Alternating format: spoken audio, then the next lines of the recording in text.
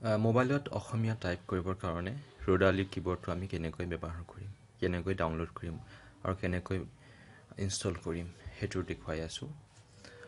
আমি প্ৰথমতে প্লে ষ্ট'ৰলৈ যাম। প্লে ষ্ট'ৰলৈ গ'লোঁ।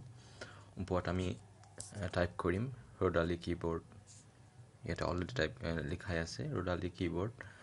এইটো আপুনি টাইপ কৰিলে প্ৰথমতে এইটো আহিব।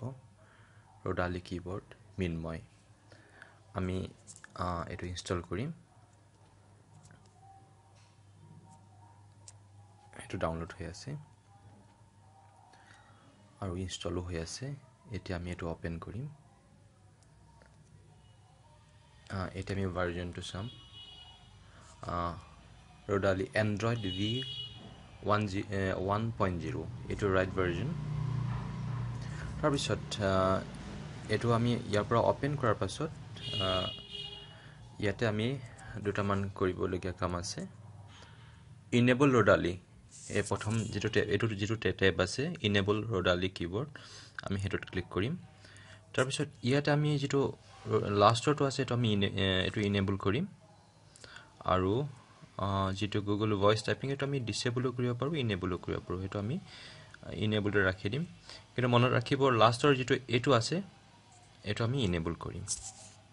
তাৰপাছত ছেট ৰ'ডালি আছে ডিফল্ট কিবৰ্ড এইটো এনেকৈ থাকিব দিয়ক কথা নাই। এতিয়া আমি ছাপ'জ মোৰ জিমেইলত গৈ পেলাই এটা মেইল টাইপ কৰিব লাগে। কম্প'জ মেইল ইয়াতে মই অসমীয়াত লিখিব লাগে কিবা কিবি। ইংলিছত লিখিছোঁ টেষ্ট এইটো ইংলিছ হৈ আছে। ইংলিছত লিখিছোঁ টেষ্ট এটা অসমীয়াত লিখিব লাগে অসমীয়াত আমি কি কৰিম? গুগল আমি যেতিয়া ইনেবল কৰিম তেতিয়া আমাৰ প্ৰথম যিখন কীবৰ্ড আছে সেইখন নাইকিয়া হৈ যাব। তাৰ পাছত এখন নতুন কীবৰ্ড আমি দেখা পাম। আমি অসমীয়াটো এখন ডাঙৰ ডাঙৰ আখৰবোৰ ডাঙৰ ডাঙৰ হ'ব এনেকৈ। তাৰপিছত আমি অসমীয়াটো লিখিবৰ কাৰণে আমি এইটো স্পেচ বাৰটো প্ৰেছ কৰিম। আপুনি দেখিছে অসমীয়া ৰ'দালি কীবৰ্ড সেইটো আমি ক্লিক কৰিম। অসমীয়া কীবৰ্ডখন ওলাইছে। ইয়াতে সদায় দুটা টেপ মন কৰিবলগীয়া এইটো আৰু এইটো যিটো ওৱান টু বেজনটো আছে এইটো। আমি এইটো প্ৰেছ কৰিলে এইকেইটা আখৰ আৰু এইকেইটা সংখ্যা আহি যাব আৰু এইটো আপোনালোকে দেখিছে আৰু ওৱান টুৰ এইটো ক খ গ আছে আকৌ দুবাৰ দুবাৰ আমি এইটো প্ৰেছ কৰিলে এইটো আহি যাব। মই ইয়াত লিখিছোঁ অসমীয়াত মত দীঘয়িকাডাল লাগে। অসমী উদ্দিষ্ট অ আ ত।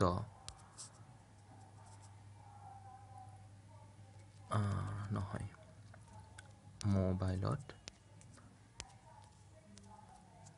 অ স ম দীঘয়ী উদ্দিষ্ট আ।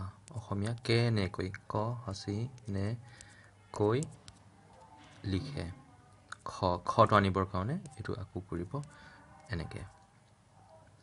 তাৰপিছত আমি এইটো লিখিছোঁ। এতিয়া আপোনালোকে দেখিছে কিছুমান এইটো সৰল সহজ কৰি যেনেকৈ মোবাইলত অসমীয়া কেনেকৈ লিখে এনেকৈ লিখিবৰ কাৰণে একো অসুবিধা নাই চিধা চিধি লিখিব পাৰে। কিছুমান কথা যেনে জ্ঞানে লিখিব লাগে। জ ঊনত্ৰিছ জ বগীয়া জ তাত জ তাত এইটো আপুনি জ লিখাৰ পাছত এইটো প্ৰেছ কৰিব তাৰপিছত এইটো দেখিছে চ আৰু ভৰ মাজত যিটো দেখিছে দ্বিতীয় আৰু ভৰ মাজত সেইটো প্ৰেছ কৰিব নিয়টো আপুনি প্ৰেছ কৰিব। আকৌ দেখুৱাইছোঁ প্ৰথমতে জ তাৰপিছত এইটো প্ৰেছ কৰিব এইটো এইটো প্ৰেছ কৰিব তাৰপিছত জ্বৰ তলত এইটো ৰেফৰ দৰে এডাল আহিছে তাৰপিছত নিয় জ্ঞা ন লিখি জ্ঞানী মহত লিখিছোঁ ম হ বেজন্ত লিখিব লাগে। বেজন্ত লিখিবৰ কাৰণে আমি ওৱান টু বেজন্ত যিটো আছে সেইটো প্ৰেছ কৰিম। এইটো বেজন্ত কৰ্ম লিখিবলৈ ক ৰ ৰ ৰ ম কৰ্ম। আমি কৰম কৰমো হয় বা ক ওপৰত ৰেপডাল আনিবৰ কাৰণে আমি কি কৰিম? ক ৰ ওপৰত ৰেপডাল আনিবৰ কাৰণে ওৱান টু বেজেণ্টটো আমি দুবাৰ ক্লিক কৰিম। তাৰপিছত এইটো। এনেকৈ। কিছুমান আৰু মানে যুক্তাক্ষৰ আছে মহৎ কৰ্ম সৎকৰ্ম সৎকৰ্ম আৰু আৰু কেনেকৈ লিখিব লাগে? ৰাস্তা লিখিব লাগে। ৰা ষ্টা এইটো দেখিছে। আৰু কেনেকৈ এনেকৈ মানে আপুনি মনত ৰাখিব যুক্তাক্ষৰবোৰ লিখিবৰ কাৰণে সদায় এইটো আৰু এইটো। এইটোত গৈ আপুনি এই যিটো আছে ৰেফ ৰেফৰ দৰে দ্বিতীয় স্বৰ আৰু বৰ মাজত সেইটো প্ৰেছ কৰিব লাগিব। মই মেম ম লিখিব লাগে ম আকৌ এইটো প্ৰেছ কৰিছে এইটো আহিছে আকৌ দুবাৰা ম লিখিছে। আৰু এনেকৈ কেনেকৈ লিখিব লাগে? কে নে ঐকাৰডাল কেনেকৈ আহিব? তাৰপিছত এইটো কেনেকৈ? ভুল লিখি ভুল।